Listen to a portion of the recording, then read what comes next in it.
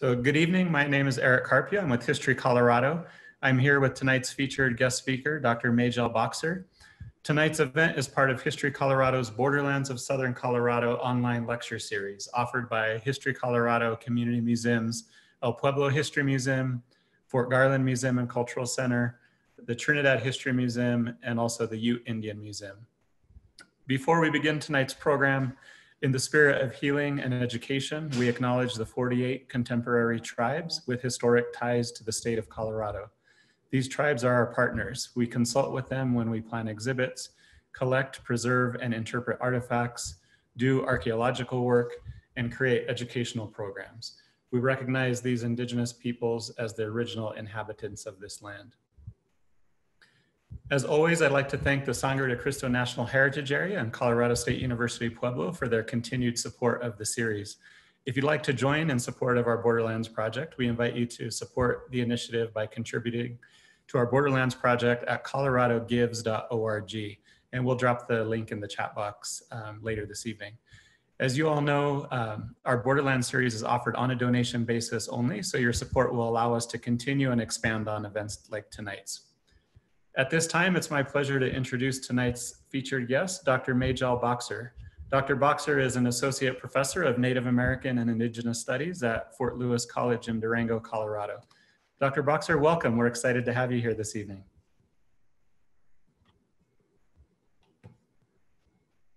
Oh, I believe you're on mute. Thank you, Eric. Thanks for the warm welcome. Let me first begin by um, gearing up my screen for the presentation tonight.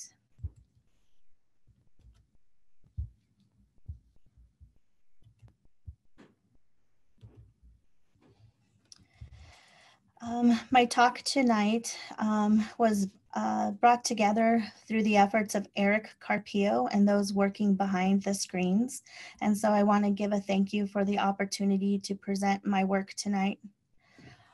Um, my name is Dr. Majel Boxer, and I am an enrolled member of the Fort Peck Assiniboine and Sioux tribes of Montana. I also would like to begin with a land acknowledgement. Fort Lewis Indian School, located first at Pagosa Springs and then uh, Hesperus, Colorado, and also its current uh, campus in Durango, Colorado, sits on the traditional homelands of the Pueblo peoples including their ancestors whose homelands encompass present-day Southwest Colorado. I'd like to also acknowledge the Ute peoples whose creation placed them amongst the mountains. I'd also like to acknowledge the Dene people whose emergence centered them amongst the sacred mountains, including Debednitsa, big mountain sheep in the north, uh, what we know today as Mount Hesperus. Um, my comments tonight and my work is situated on the concept of the absent presence. And I cite the work of Myla Vicenti Carpio. Uh, she explains, Indigenous history is the absent presence in American history, deliberately erased or radically transformed to maintain the master narrative. The process of colonization have created this absence in the American historical memory, which shapes how Indigenous history, space, or place have been and continue to be renamed, redefined, and destroyed. I think of this concept whenever I enter campus um, from the front hill, and I'm greeted by the sign that you see in front of you where it says Fort Lewis College was founded in 1911.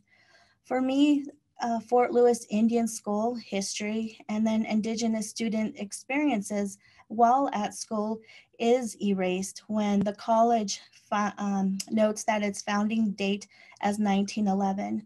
When I know that the college, um, that uh, Fort Lewis Indian School existed prior to the college and was established in 1892. I first began um, with giving a context that there existed the federal Indian policy of assimilation, and the height of this policy of, of assimilation was between the years 1880s and through the 1920s. At this time, the self-proclaimed Friends of the Indian uh, had a goal. Their goal was to assimilate indigenous peoples into mainstream American society. Their hope was to solve the Indian problem, to find a way to finally put an end to this problem that plagued uh, the United States for several centuries, uh, since the founding and even before the, uh, the United States was a nation. These Friends of the Indian promoted two policies. The first was the removal of Indian children to boarding schools, and I'll focus my comments tonight on that.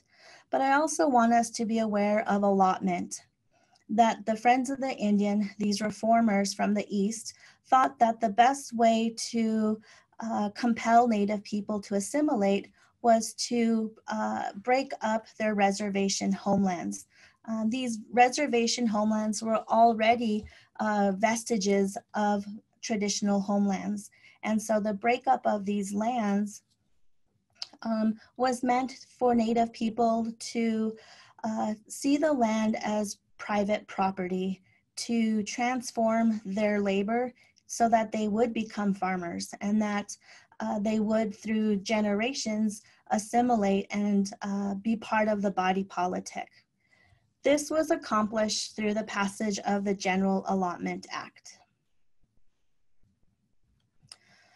Um, here, just to give you a brief uh, overview, uh, Fort Lewis Indian School is part of uh, nearly two dozen off-reservation boarding schools.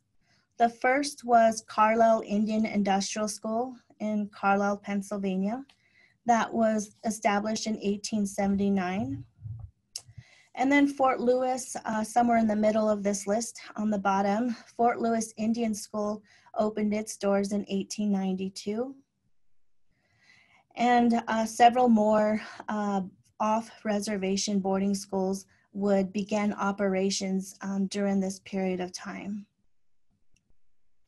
Geographically, Fort Lewis Indian School, of course, is located uh, in southwest Colorado, but this map here details the number of off or non-reservation boarding schools.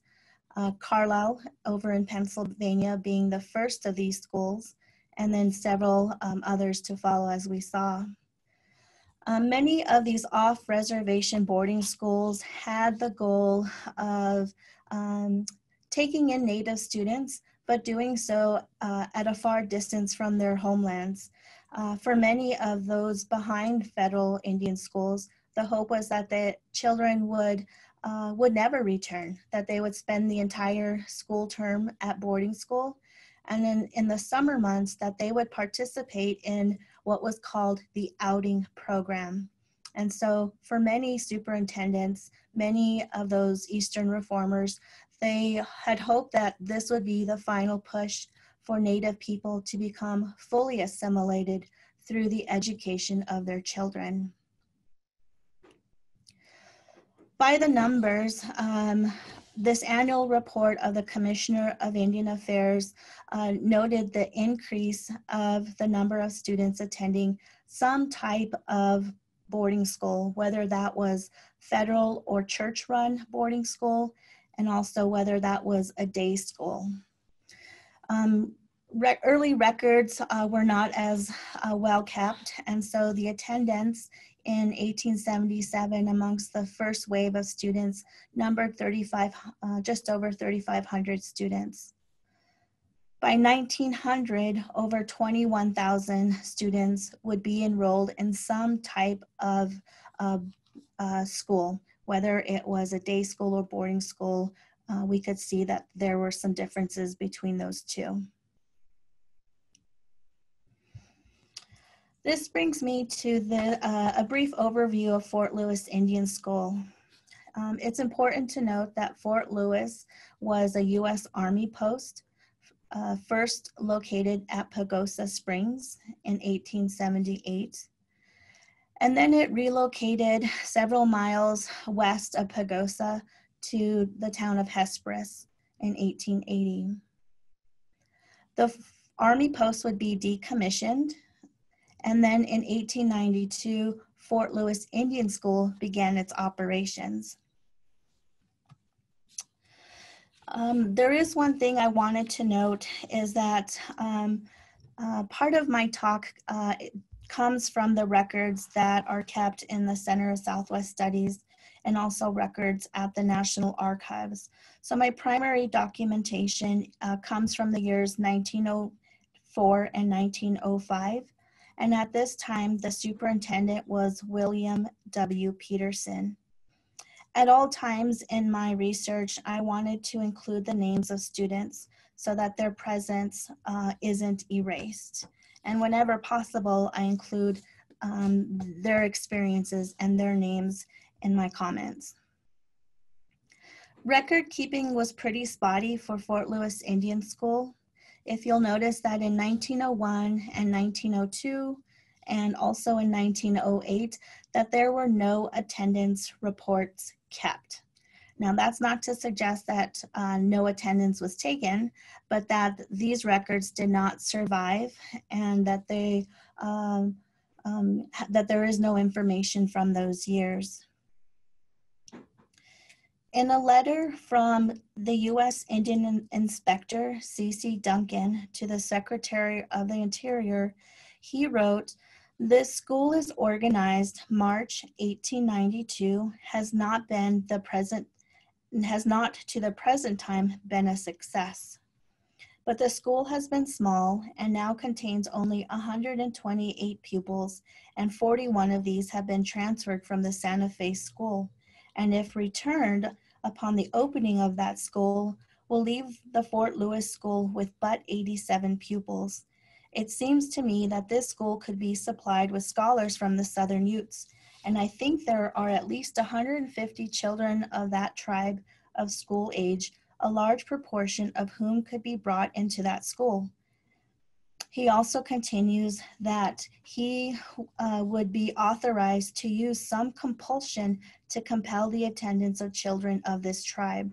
Um, he's speaking of the Southern Ute. He finally writes, most of the children in attendance being in the or order named from the Mescalero Apaches, Jicarilla Apaches, White Mountain Apaches, San Carlos Apaches, Papagos, Pimas, here he uses the word diggers, which is a derogatory word um, in describing California Native people, Navajos, and Utes. There being no school on the reservation, it occurs to me that the rule of preventing the removal of Indian children from the reservation should be relaxed, and these children given the benefit of an education by being forced into the Fort Lewis school. There are countless times where the uh, superintendent of Fort Lewis Indian School writes about compelling or uh, enforcing or even coercing uh, Native parents, especially Southern Ute parents, to send their children to school. The Indian inspector also continued to say, I recommend that at least 50 of the brightest children of the Southern Utes be taken without the consent of their parents and placed in the Fort Lewis School. I organized the rest of my talk then into several themes based on the, the type of information I was able to uncover about uh, Indigenous students at school. The themes I will talk on are the themes of school life, well-being, the denigration of spiritual and cultural practices, guardianship and paternalism, and then finally, parent and child relationships. It's no mistake that Fort Lewis Indian School was patterned after a military school.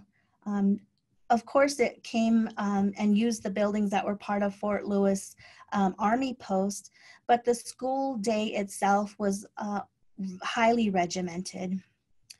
Um, the superintendent, William Peterson, wrote to the assistant matron of the small boys that uh, these small boys were to have roll calls as follows. So roll call beginning at 6.25 a.m., another roll call at 7.20, 8.20, 11.55, 12.50, 110 and a final roll call at 525. The superintendent said that roll call was for each company before bedtime and inspection of beds after all have retired. Any unexcused or unaccounted for child um, would be reported to the industrial teacher. Part of the original architect behind federal uh, off-reservation boarding schools was Captain Richard Henry Pratt. Uh, Pratt was a military man himself. He served during the Civil War, and he even oversaw the imprisonment of 74 Cheyenne and Kiowa prisoners um, at uh, Fort Marion and St. Augustine. And so Pratt was that uh, architect behind Federal Indian Boarding School. And because of that, he really implemented that military lifestyle uh, in the lives of school children. Fort Lewis Indian School was well regarded for its large uh, marching uh, area in front of the schools, and also that school age children would be marched up and down those lawns uh, regularly. The curriculum at the school was devoted to English along with math uh, Superintendent Peterson would write to Estelle Reel, who served as the superintendent of all Indian schools. Uh, Peterson wrote to her and stated, in teaching the Indian children to speak English, and I assure you, you will have my cooperation of this school. Peterson would also uh, request that um, uh, children be instructed to sing what he called the national airs and also to play instruments. And so Fort Lewis Indian School had a marching band. Uh, Peterson requested that band sheet music as above, um, and he laid out music for the cornet, clarinet, uh, tenor clarinet, alto, etc., um, to include the Star Spangled Banner, America, the Red, White, and Blue, Dixie, and then a song called Hail Columbia. So not only was the daily uh, school regiment uh, highly militarized, but one that uh, promoted English, uh, speaking of English, reading and writing in English. And then alongside their curriculum, uh, students were supposed to engage in the vocational training, and that included farming and gardening. Peterson would write, uh, I wish to say that every effort is being made to have the farm idea permeate the schoolroom work to as a great an extent as possible. A number work and language work are based upon the subject as far as practical, and regular instruction is given using Goff and Mayne's text. This textbook, Goff and Mayne, um, was titled First Principles of Agriculture. Peterson promoted the idea of school gardens. He wanted school gardens to be made by all the primary pupils under the direction of the primary teacher, and the girls will have their individual plats under the charge of the girls' matron. Attendance will be given to the proper instruction concerning the plants and their growth, and an earnest effort will be made to have each garden produce results.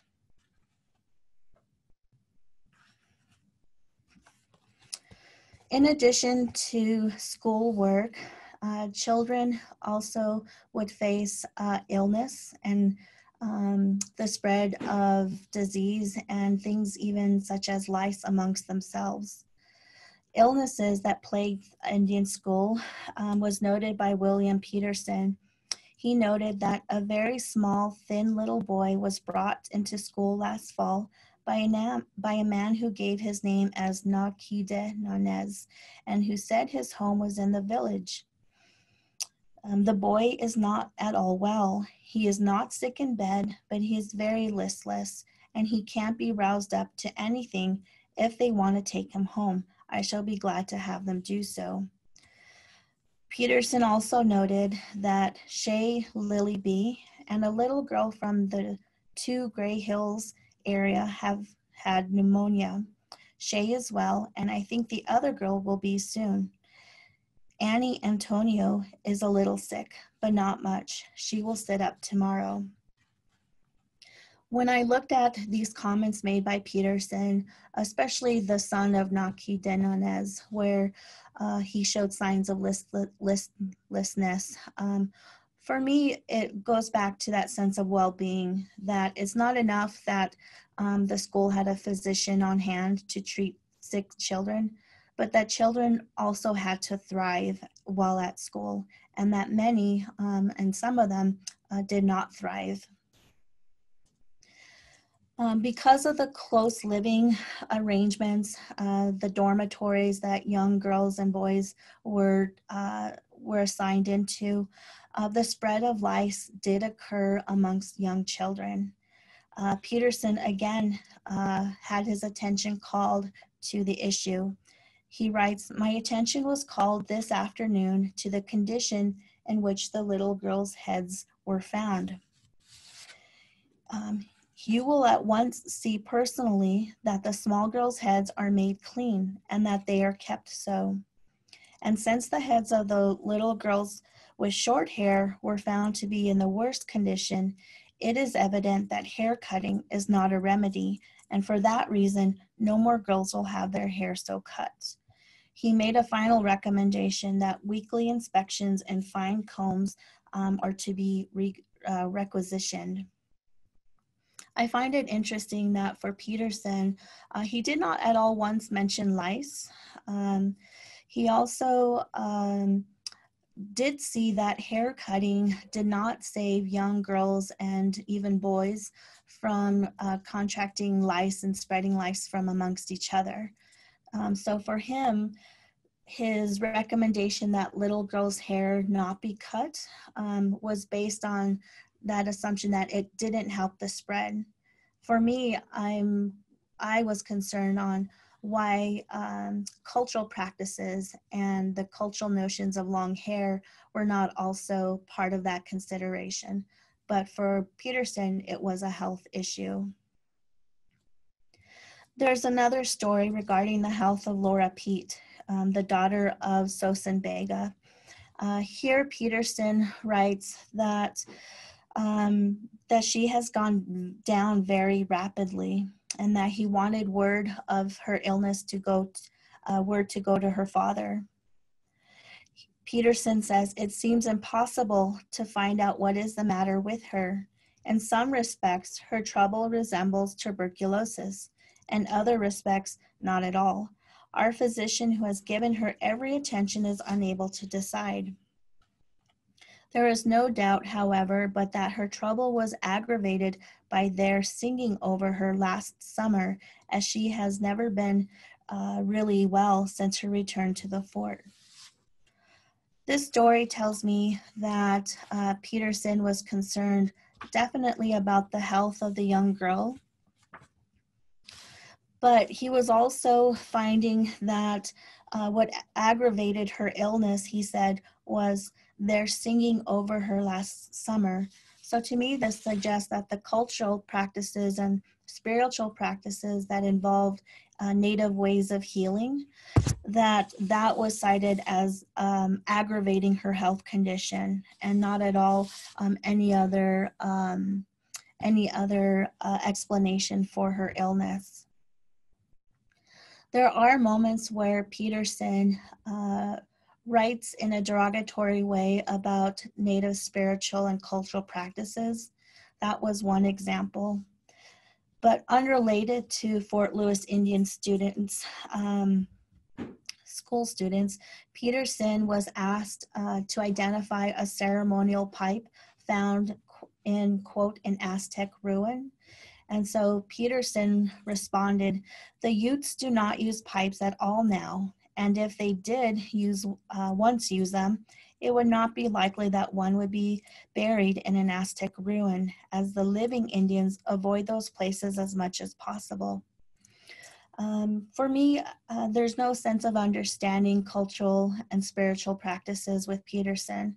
That uh, he definitely notes that assimilate, assimilation was well underway with Ute peoples, um, because he notes that they do not use pipes at all now.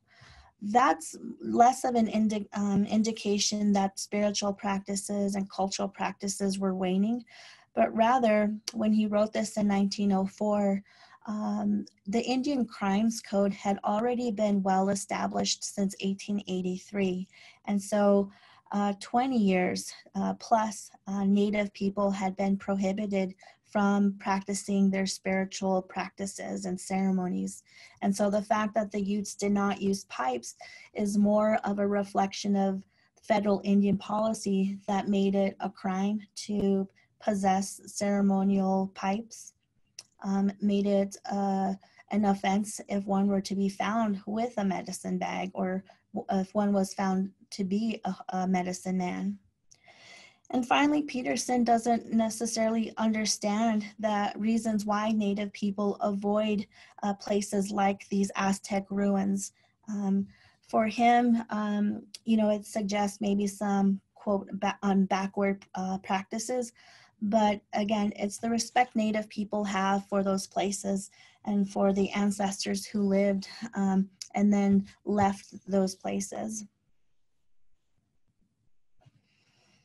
My next theme I wanted to uh, discuss is that of guardianship and paternalism.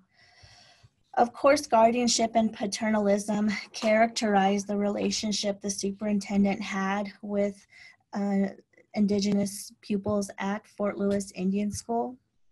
But also, guardianship and paternalism extended even over Ute peoples, uh, people who are not at all students of Fort Lewis Indian School.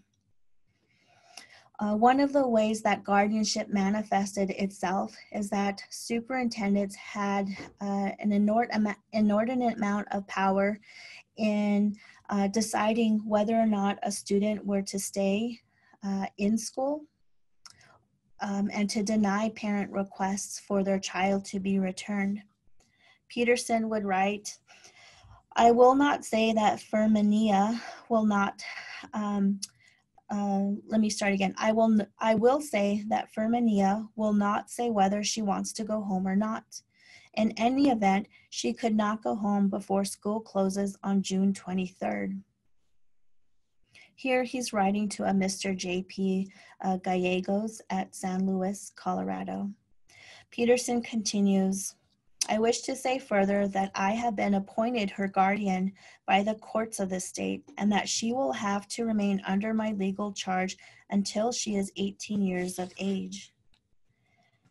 Peterson also uh, relates that um, William Spear, a Navajo boy, uh, will be carried as an outing pupil belonging to this school even in his language and as he describes this outing program, that uh, William Spear belonged to this school. And so children were seen as uh, perhaps even like property belonging to a school under the guardianship of the superintendent.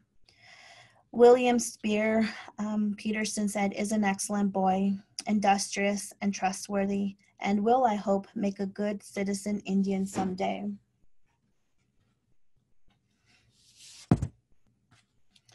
Guardianship and uh, paternalism um, would extend to um, to whether or not uh, children would uh, would stay at uh, school. Uh, Peterson says, "You know, of course, that it is contrary to the regulations of the Indian Office to allow pupils of a non-reservation school to return to their homes before the end of the terms for which they have entered. Of course, from the school standpoint, it is not a good thing for them to go home at all. They forget more in the vacation than they will learn in twice the time they spend at home. To say nothing of their getting so dirty and full of parasites that it is as much work to clean them up as it is when they first come in. I cannot say that our civilization is positively better than theirs in every respect, but it is the kind that is being put upon them more or less by force of necessity, and any step back into the old ways is naturally a hindrance. You know, I, uh, of course, uh, understand Peterson's intent here, where um, children are under his guardianship um, that he has the authority to uh, disregard a parent's um, desires to have their child returned even during school breaks. And that overall, his attitude of Native parents and Native homes is that, you know, children return to dirty homes, um, as he said, full of parasites. Of course, um, the whole time, you know, this is a bit um, um, odd of him because schools themselves um, did not um, preclude the spreading of things such as lice, and I, as I just had explained. The superintendent of Fort Lewis Indian School not only oversaw Indian pupils there, but William Peterson actually had superintendent authority over uh, Ute peoples as well. In 1905, Peterson clarified um, regarding the Utes allot, allotted along the Animas and La Plata rivers, said Indians having been placed under the charge of the superintendent of the Fort Lewis School on February 7th, 1904. Um, so Peterson oversaw uh, those uh, allotted Utes, and he would write, It seems but reasonable to suppose that it would be better to have the allotted Utes keep by themselves. Allotment is supposed to be for the purpose of getting an Indian to settle down in one place and stay there. This he is not inclined to do, and he will become more and more disinclined in proportion to the frequency with which he is thrown into contact with those of his race who are still nomadic.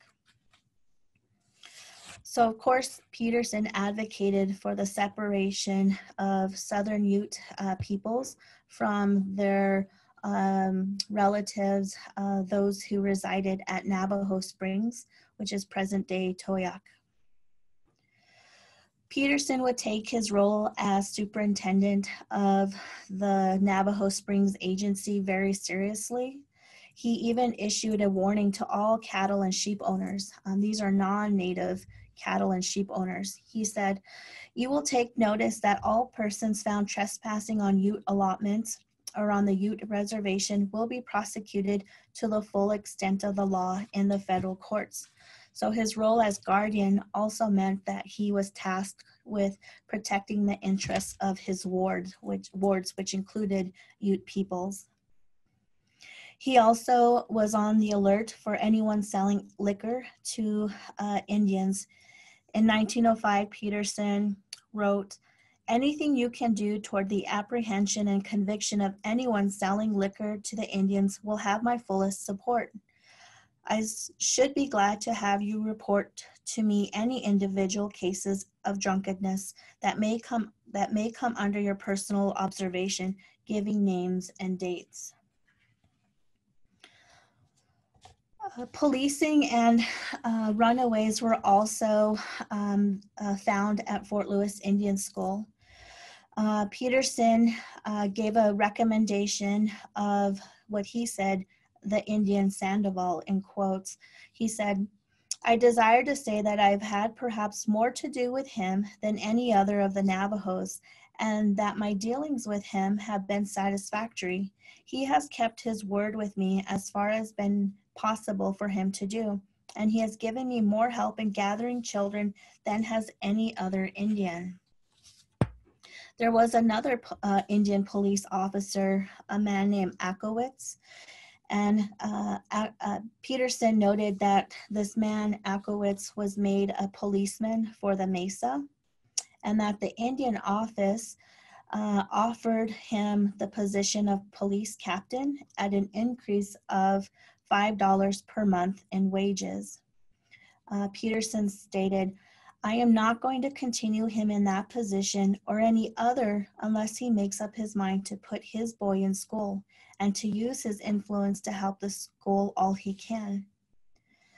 For me, this really um, helps me understand why uh, Indigenous men would participate in the policing of their own communities oftentimes, uh, oftentimes the promise of a steady salary, steady employment was a reason why many men would accept the position of police and ones that were tasked with uh, locating and bringing back runaways. There were um, a number of children who ran away from Fort Lewis Indian School. One of those children was a young girl named Bessie Burns, the daughter of a man named Weaselskin. Uh, Peterson noted that Bessie has gone back to school. Um, if she has not done so, I should be very glad to have you send your police after her.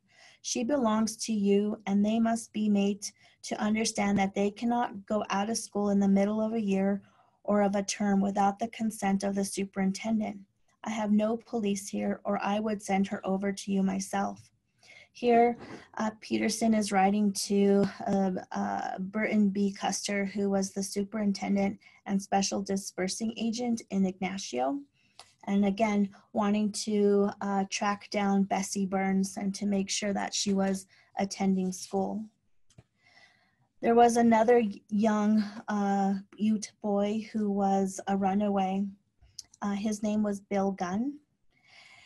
And um, Peterson simply states, um, Bill Gunn, an allotted Ute boy who has been in school here, ran away yesterday. Again, writing to the superintendent at in Ignacio. If you find him there and will send him over with a policeman, I shall be glad to pay the uh, police for bringing the boy. And finally, there's another case of a runaway where the superintendent Peterson just assures uh, Mr. Burt McJunction in Farmington, New Mexico, that he would settle a bill um, that McJunction had um, in his efforts to recover a runaway and to uh, send that child back to Fort Lewis Indian School. One thing that struck me uh, the most were that parents and children um, uh, did maintain their uh, relationships with each other. That parents never uh, just simply forgot about their child at boarding school, but that parents would write to the superintendent uh, pretty regularly um, and ask for information about their child. And um, uh, Peterson himself would encourage children to write letters uh, to their parents. One of those parents was a man named Fulgestino Lucero from Tierra Amarillo, New Mexico. Um, this father wrote to Peterson, and Peterson wrote back to say, um, Will say Leonardo is very well, and that I do not know of any reason why he has not written you except that he has neglected it. I will see him and ask him to write at once. The pupils can write once every month or oftener if they desire to do so.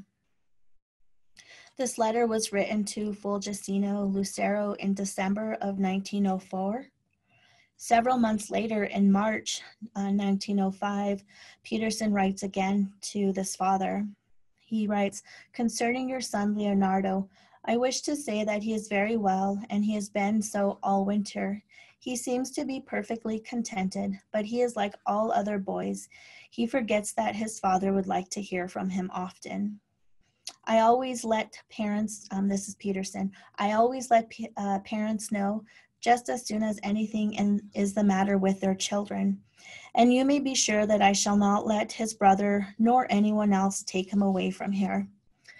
Even though Peterson is as um, uh, responding to the father Fulgestino Lucero um, and you know keeping him in the loop about how his son is doing and even encouraging his son Leonardo to write letters. Um, you know Peterson can't help himself but to tell the father uh, uh, Fulgestino, you know, you may be sure that I shall not let his brother nor anyone else take him away from here. Um, so even in his capacity as facilitator uh, between this father and son relationship, um, Peterson still has to say, you know, and exert his guardianship over Leonardo and say uh, his brother or no, anyone else is not going to take this child from Fort Lewis Indian School.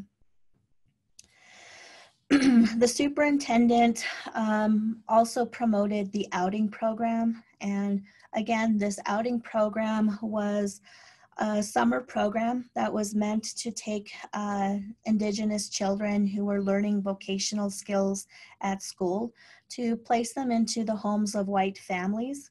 And the hope was that these white families would uh, cement even more so the skills that they were learning in school by uh, uh, having that child be part of their family and their household. Peterson had uh, one such child, a young woman named Annie Yuri, and he said that I want her uh, to place her somewhere where she will have good, careful training. Um, she has been in our house for nearly a year now, but Mrs. Peterson is at work so much of the time that she cannot give her the personal attention the girl needs.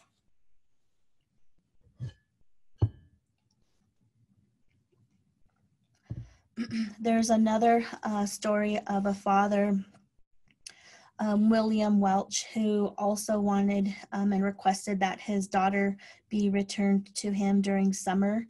And Peterson would say it's not a poss- uh, it's not a possibility that um, um that she will uh, stay on um, and be placed um, in that outing program uh, Peterson would note, we have a Navajo girl, 16 or 17 years old, who has been working for Mrs. Abbott in Durango.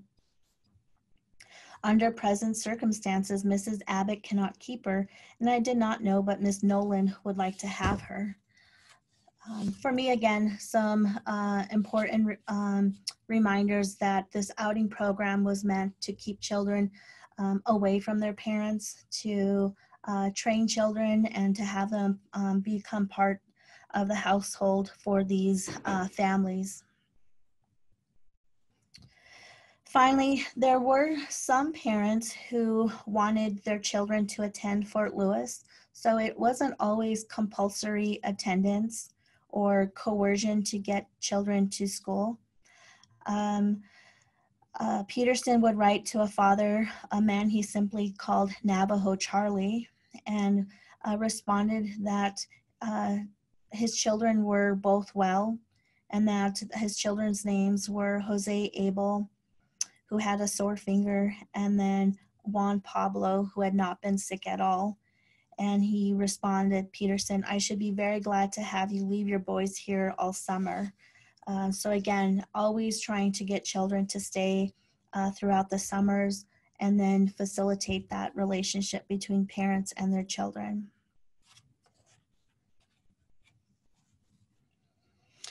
The final thing I wanted to mention then is um, on parent and child relationships is that Peterson did not really seem to understand that Indigenous family structures are complex, that it would not be unusual for a child to have their mother, but also their aunts, um, um, the mother's sisters be equally viewed as mothers.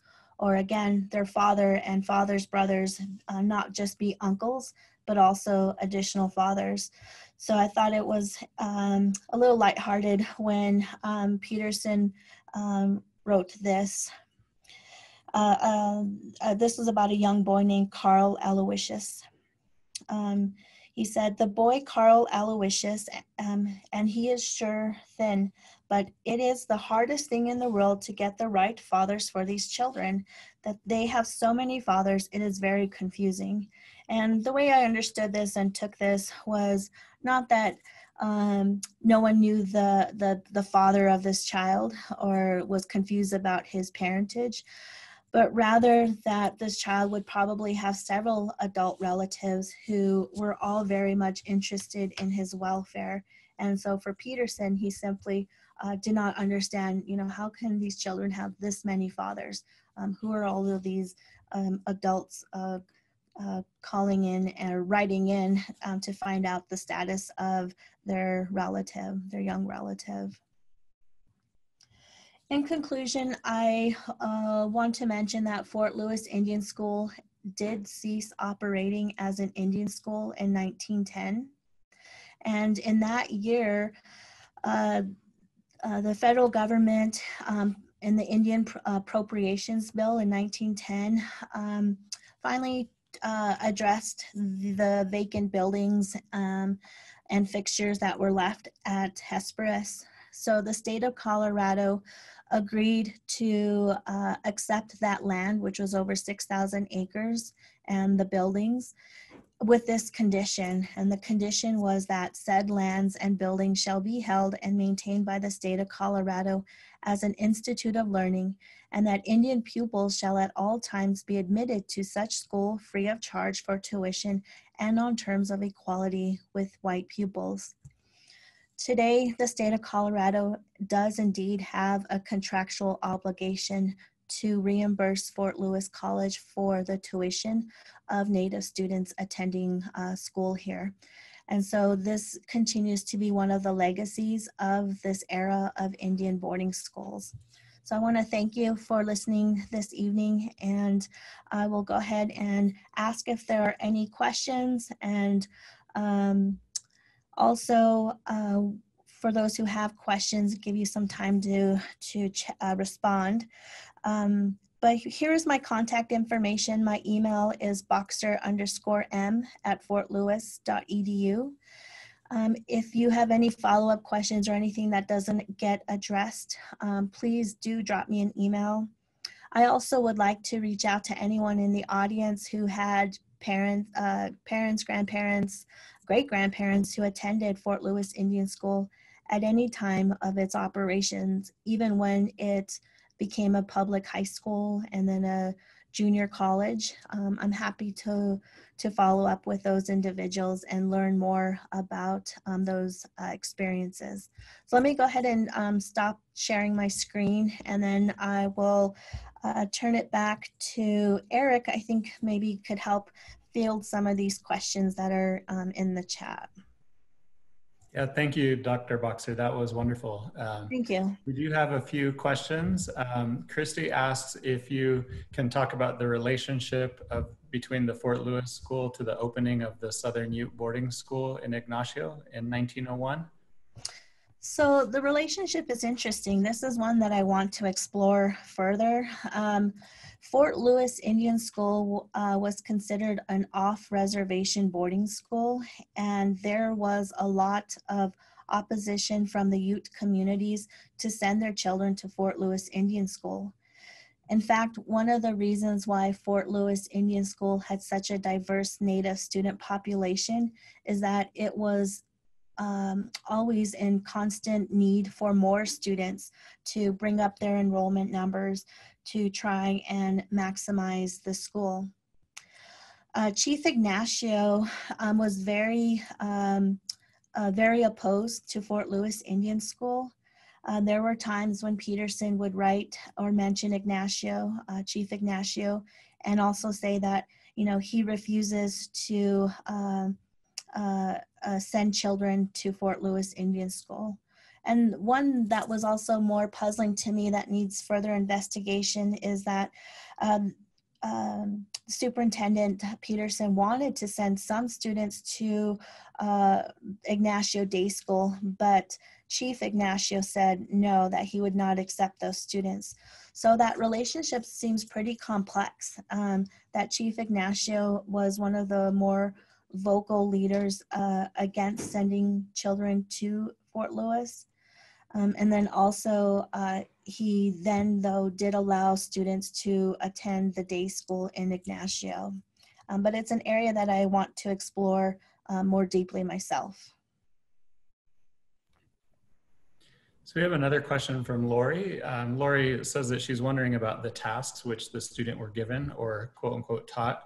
She asked, were traditional Native American roles considered when assigning boys and girls their activities at the school, or did the task conform mostly to white conceptions of gender related tasks, or were neither considered? Um, thank you for that question, Lori. Um, Fort Lewis uh, was part of the that uh, bigger industrial vocational school uh, paradigm where the curriculum was set so that it patterned itself after Euro-American uh, divisions of gender, uh, gender divisions of labor rather. And so part of that assimilation was to uh, bring about a cultural change for uh, Native students so that women would be confined to the domestic sphere in their labors. Um, that women could, though, um, a garden and tend to their own little plat. But by and large, it was uh, young boys who were going to uh, transform themselves into that agrarian ideal of being a farmer, providing for uh, your family, being the head of a family. And so most tribal societies have it that the genders are uh, complementary.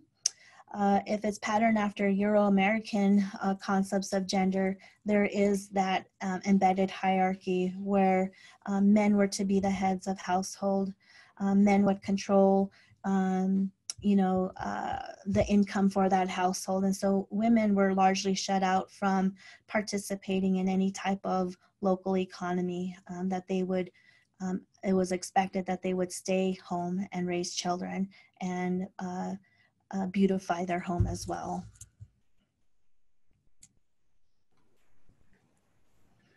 And just a reminder to those in the audience, if you have questions, please feel free to drop them in the chat box. Uh, Dr. Boxer Raylene asked about um, parent letter writing to children and asked whether parents uh, would write to children in their own language or in English.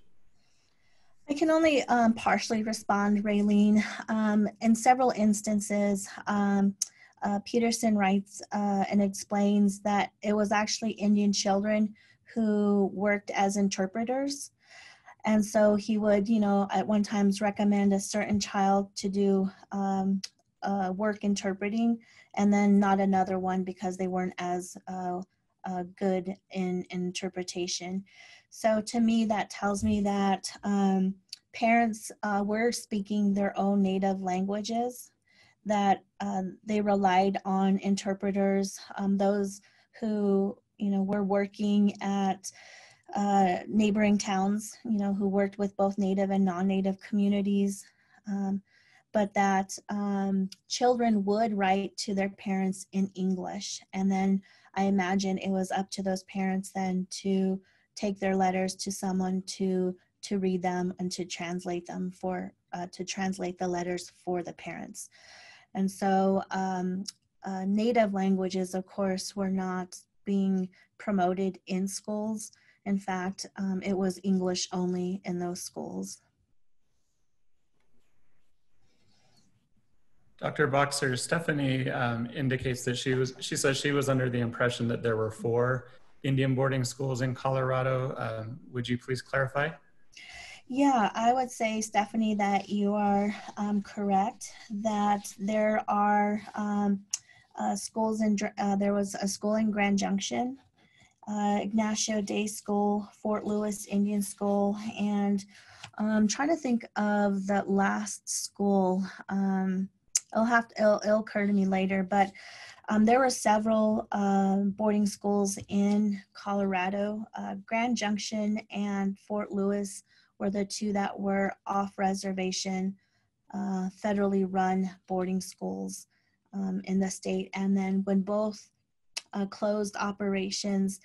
Uh, both schools had that same condition um, in the appropriations bill of 1910 where um, the state of colorado acquired the lands that the schools were situated on um, with the condition that those schools and only fort lewis is still in operation that those schools would accept native students and that the state would be contractually obligated to reimburse um, the well, for us, um, the institution.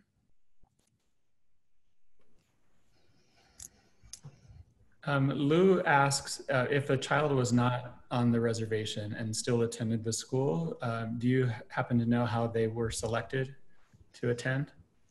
You know, I didn't get the sense that there was any formal recruitment um, process for students. Um, but in fact, Peterson and, and even the superintendent before him, Breen, would would write constantly about um, if you you know if you could bring back Indian students to attend this school. Um, you know, uh, I'm traveling, and if you come across any Native students, so Fort Lewis always had a challenging time. First, even getting uh, Southern Ute students to attend Fort Lewis. And once that proved difficult, then Fort Lewis got creative about how it would just accept um, any Native student then. Um, so you have students who are coming from the Navajo Reservation, um, students who were from the Hopi villages, uh, Zuni, uh, of course, I mentioned Apache students as well, and uh, even some California Native students um, and students from Arizona were were part of the school. And so I think by default, um, the school accepted uh, uh, a diversity of Native students and that uh, parents too also could send and choose to elect to send their child to Fort Lewis Indian School.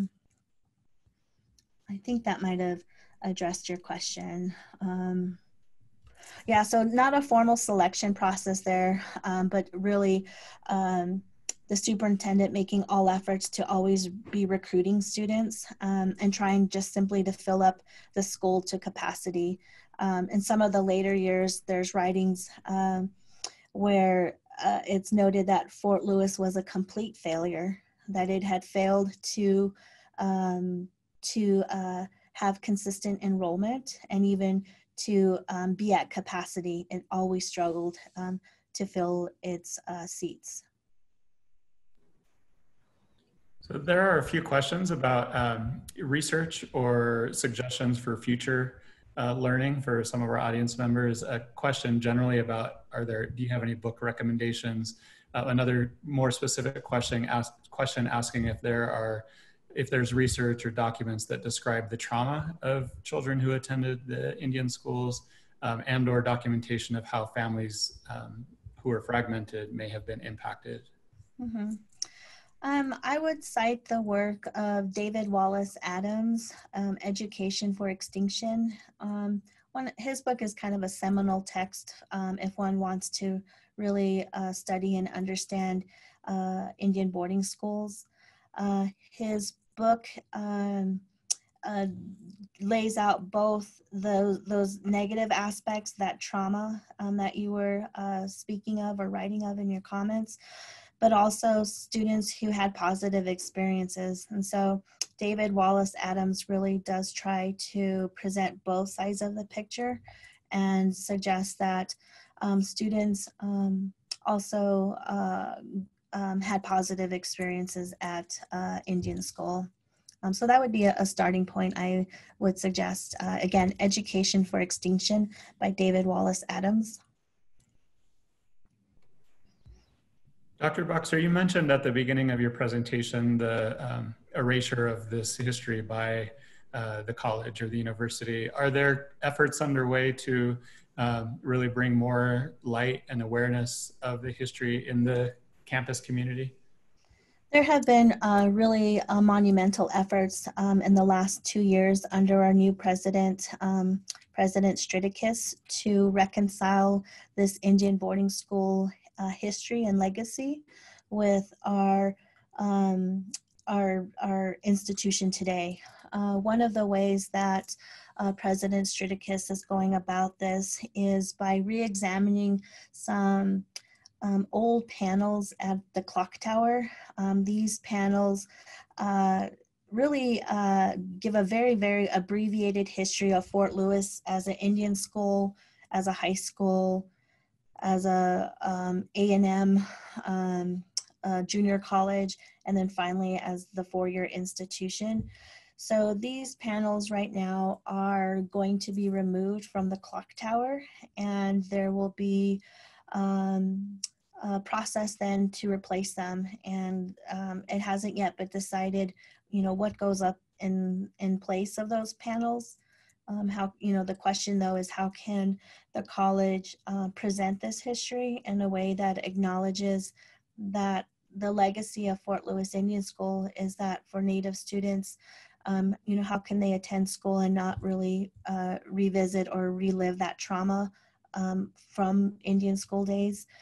Um, and so that's one of the things that the college is doing uh, today. Great, thank you so much, Dr.